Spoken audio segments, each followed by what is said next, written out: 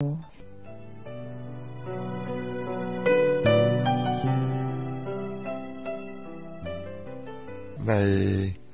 ความรู้สึกของผมนี่ก็อาศัยหลักที่ผู้รงได้ตัดเอาไว้แหละทุกคนนี่ย่อมมีความแตกต่างกัน ในด้านของความคิด เราจะเห็นจะคิดเหมือนกันเนี่ย เป็นไปได้ยากมาก การแตกต่างของความคิดมันมีที่มาเราก็ต้องพิจารณาดูว่า คนเราเนี่ย เกิดมาแล้ว ขณะเกิดว่าในครอบครัวเดียวกัน คุณพ่อคุณแม่คนเดียวกัน แต่ทำไมอุปนิสัยนี่ต่างกันทำไมการใช้ชีวิตที่ไม่เหมือนกัน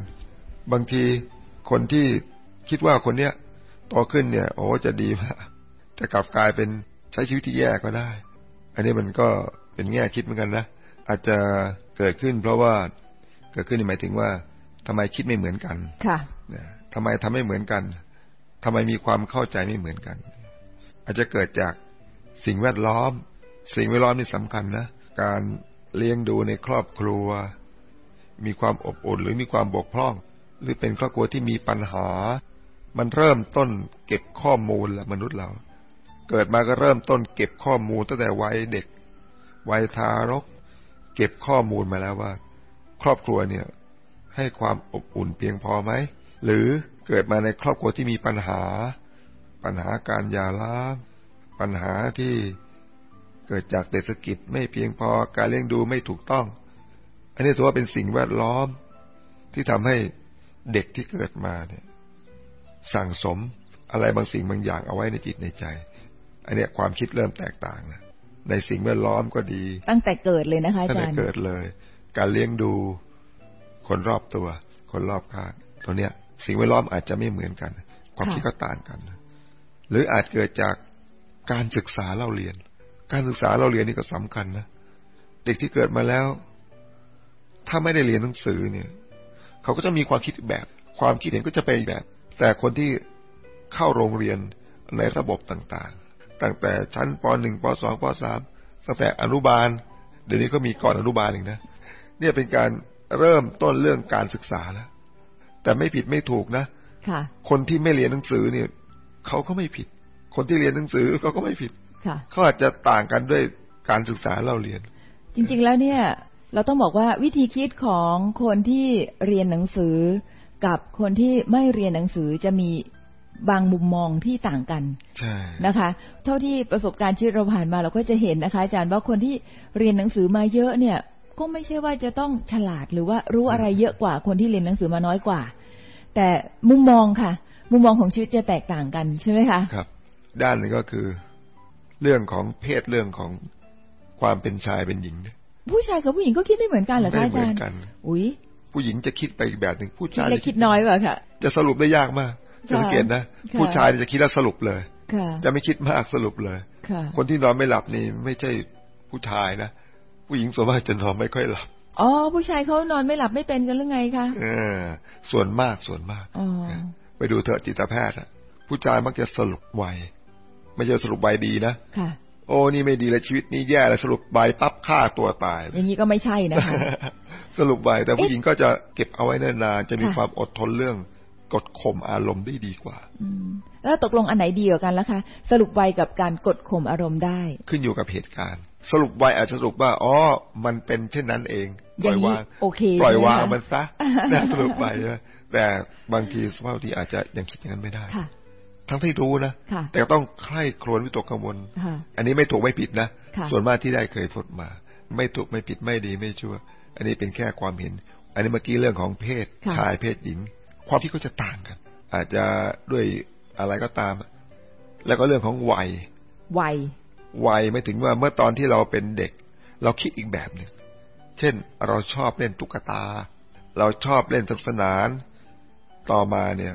พอขึ้นวัยรุ่นเนี่ย เราไม่คิดอย่างนั้นแล้ว เรามองถึงอนาคตแหละมุ่งแต่อนาคตว่าจะทำยังไงดีจะมีอย่างนั้นจะมีอย่างนี้มีความหวังวาดหวังไม่มากมายค่ะแล้วก็ตุ๊กตาไม่เล่นละ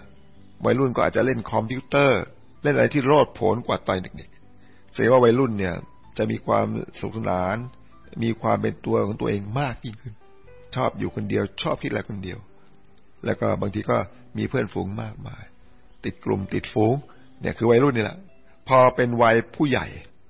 เราก็จะคิดอีกแบบหนึ่งค่ะเราจะไม่เล่นแล้วตุ๊กตา เราจะเล่นรถนึกถึงบ้านนึกถึงอนาคตสร้างฐานะของเราได้อย่างไรบ้าง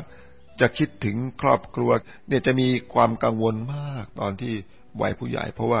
เริ่มมีประสบการณ์ชีวิตมากขึ้น พอคิดก็จะเป็นอีกแบบหนึ่งค่ะจะต่างกัน พอสู่วัยชราก็คิดแบบหนึ่ง วัยชราเนี่ยแม้แต่จะคิดมากอะไรก็ตาม จะสรุปลงที่ปล่อยวางจะมากกว่า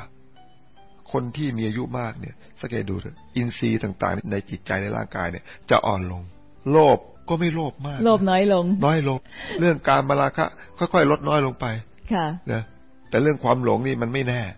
อาจจะมากยิ่งขึ้นถ้าหากว่าไม่ได้ฝึกจิตฝึกใจเอาไว้เพ ราะฉะนั้นการต่างกันของความคิดความเห็นเนี่ย มันอยู่ที่วัยเนี่ย การศึกษาก็ดีวัยก็ดี สิ่งแวดล้อมก็ดี พวกเนี้ยประสบการณ์ชีวิตนี่แหละ จะทำให้คนเนี่ยต่างความคิด บางทีบางคนเนี่ยเขามีประสบการณ์มาเขาก็สามารถพูดหรือคิดในสิ่งที่เขาประสบมาได้ แต่เราเองเนี่ย บางทีไม่เคยมีประสบการณ์อย่างนั้นแล้วก็คิดไปอีกแบบหนึ่งว่าโอ้มันเป็นไปไม่ได้หรอก การไปจังหวัดเชียงใหม่ คนอยู่จังหวัดเชียงใหม่เนี่ยเขาจะเข้าใจว่า เชียงใหม่เป็นอย่างไร ดอยสุเทพอยู่ตรงไหนค่ะอากาศเป็นอย่างไรค่ะแต่คนภาคกลางที่ไม่เคยไป มันเป็นไปไม่ได้มั้งเมืองไทยเหมือนกัน มันต้องอากาศเหมือนกันค่ะเราก็ด่วนสรุปว่า อันเนี้ยคือถูกต้องของเรา แต่ว่าของเขานี่ไม่ใช่ มันกลายเป็นว่าคนที่เคยผ่านประสบการณ์มาแล้ว แล้วก็ได้ผ่านชีวิตมาหรือได้ไปสัมผัสโดยความจริงเนี่ยเขาก็จะคิดเห็นในแง่ของเขา แต่เราไม่เคยไปเราก็จะคิดเห็นอีกแบบ อาจจะเห็นด้วย หรือปฏิเสธอาจารย์กำลังจะบอกว่าประสบการณ์ชีวิตก็ทำให้คนเราเนี่ยมีความคิดเห็นต่างกันสำคัญมากค่ะคนที่เคยเกลียดงูเราก็เกลียดงู คนละคนก็ไม่ชอบเรื่องงู แต่คนที่ประสบการณ์ช่ำชองเกี่ยวกับเรื่องการเลี้ยงงู แล้วก็จับงูแล้วก็โชว์การเล่นลีลาต่างๆการจับงู เขาไม่กลัวงูนะค่ะงูคือเพื่อนของเขาเป็นตัว แต่เราเนี่ยเอ๊ะทำอย่างนั้นได้อย่างไรเราก็สงสัย แต่ไม่ยากหรอกเราลองไปเล่นงูกับเขาสิค่ะเราก็จะเข้าใจอ๋อมันเป็นอย่างนี้เอง เพราะเราไม่ได้สัมผัสเราก็ด่วนสรุปว่ามันเป็นไปไม่ได้หรอกสำคัญมากนะ เรื่องประสบการณ์เนี่ยค่ะเนี่ยเพราะฉะนั้นการที่ไปด่วนตัดสินใจว่าทำไมเขาไม่คิดเหมือนเราคิดงั้นไม่ถูกหรอกมันไม่ถูกต้องพุทธองค์ก็เหมือนกันนะค่ะสมัยก่อนเนี่ย เคยได้อ่าน ท่านก็จะชอบไปพูดคุยกับพวกอัญญาดิลถีค่ะและอัญญาดิลถีก็ชอบมาหาท่าน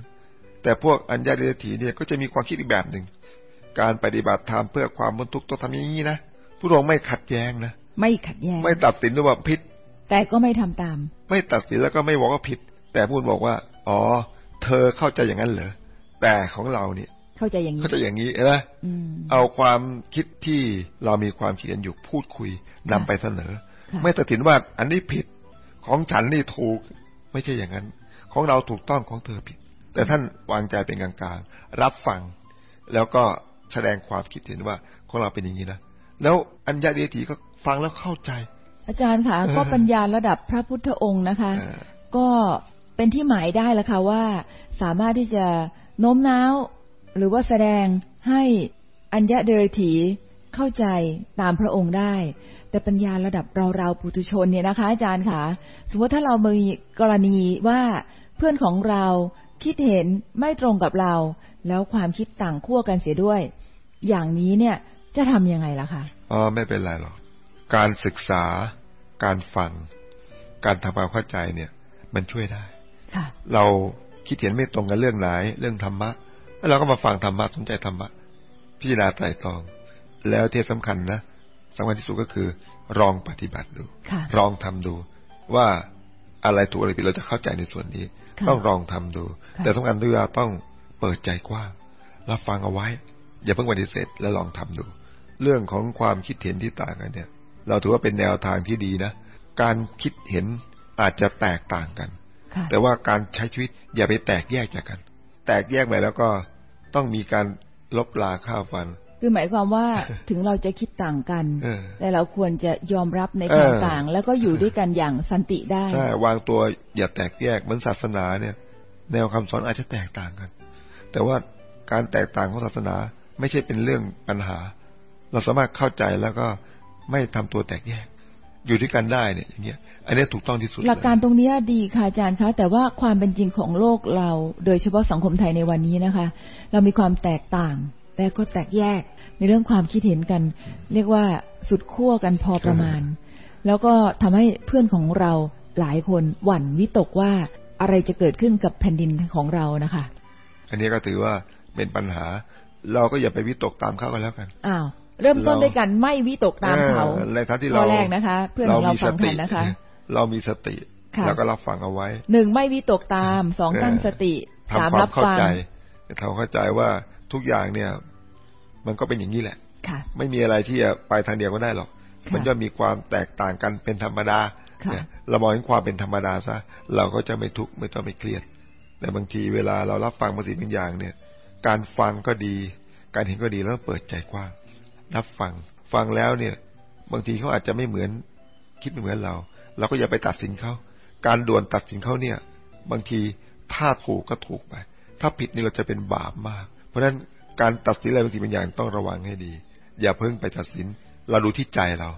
โอ้ดูใจเราใจเราเป็นอย่างนี้นะใจเราไม่พอใจ โอ้เราก็มีสติรู้มัน ใจเราเห็นด้วยถูกต้องก็มีสติรู้มันค่ะดูที่ใจเราเนี่ยมันปลอดภัยมาก ทุกครั้งที่เราเห็นจิตใจเราเปลี่ยนแปลงไปกับสิ่งที่มากระทบ พอใจก็ตามไม่พอใจก็ตาม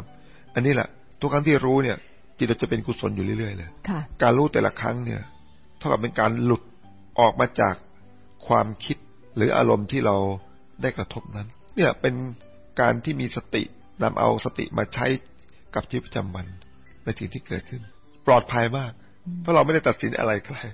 การแสดงความคิดอะไรก็ตามเนี่ย ก็แสดงไปเป็นกลางกลางๆเธอเข้าใจอย่างนั้นเหรอแต่ละเข้าใจอย่างนี้นะแต่ไม่ได้บอกว่าของเธอผิดของฉันถูก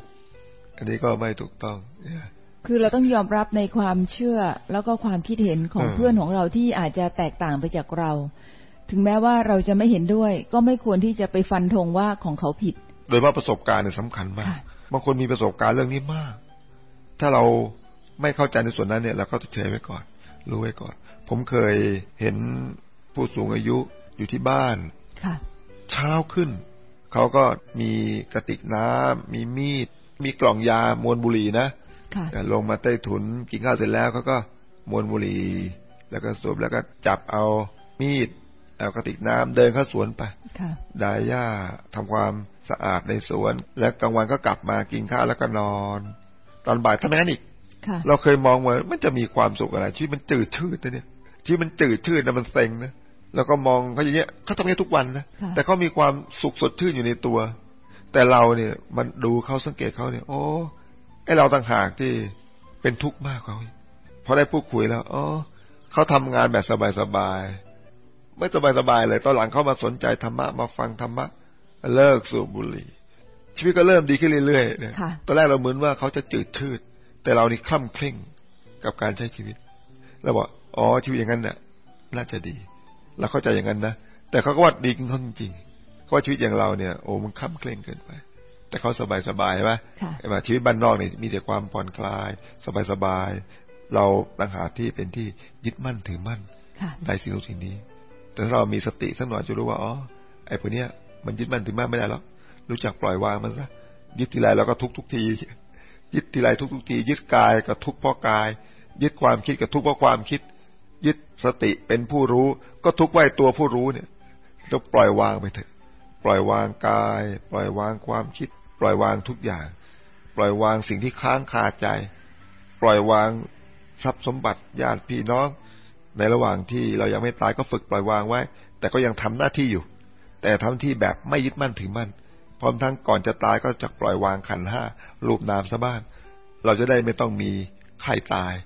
ไม่ต้องตาย เพราะไม่มีคนตายเนี่ยค่ะมีแต่ความตายให้เราเห็นเท่านั้นเองอันเนี้ยเป็นกระบวนการของการมีสติทั้งนั้นเลย